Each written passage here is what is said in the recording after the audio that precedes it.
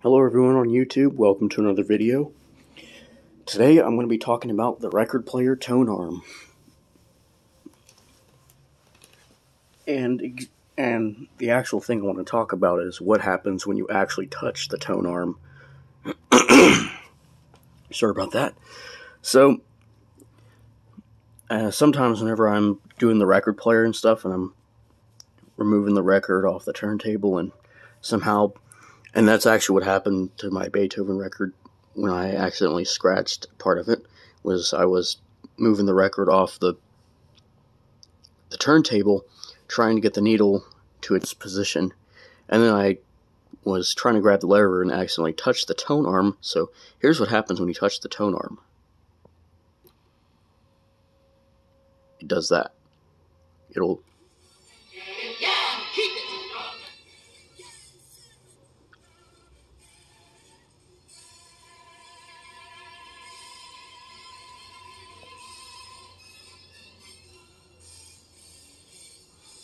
And like I said, this is these videos are not meant for any violations or anything. So I'm just trying to be friendly about that. But anyways, that is actually how that's what happens when you actually touch the tone arm of the record player. So um that's basically it, and that's what happens when you touch the tone arm. Now, you can actually do this either way. Now, I'm going to put this needle back into its position. Now, that's another thing I want to talk about too. Is the that's another thing about the tone arm is when you want to play your record, how can you do it without messing up your records if you want to do it manually? So just do like this, lift up your needle, and then move it to the turntable. It'll start.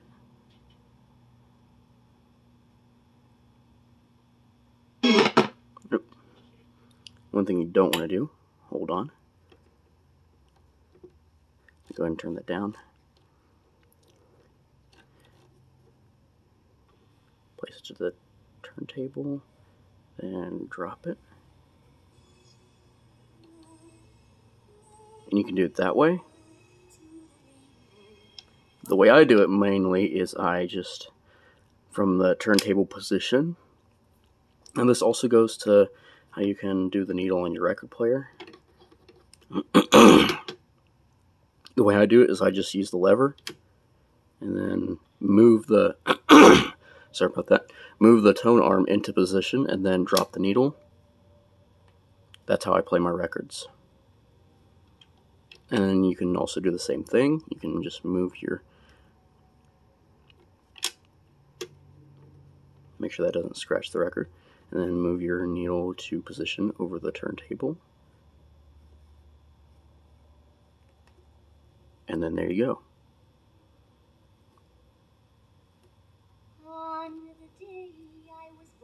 And that's how you do it.